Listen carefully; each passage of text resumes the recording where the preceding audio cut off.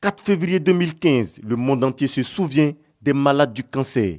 Selon l'Organisation mondiale de la santé, OMS, la maladie a fait environ 8,2 millions de décès dans le monde entier en 2012.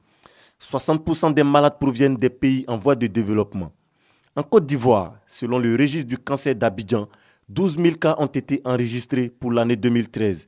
Les cancers les plus fréquents chez l'homme sont le cancer du foie et de la prostate. Chez la femme, le cancer du sein et du col de l'utérus et la tumeur abdominale chez l'enfant.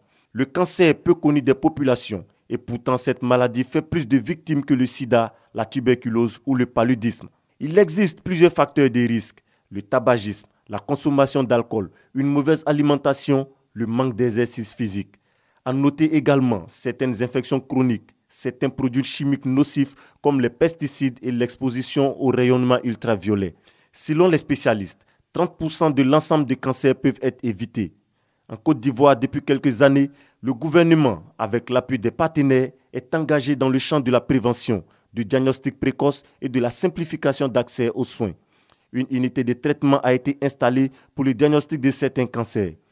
Concernant le cancer du col de l'utérus, 70 sites de dépistage ont été installés à travers le pays. 30 000 femmes ont été dépistées et 16 000 jeunes filles vaccinées contre le papillomavirus humain en 2014.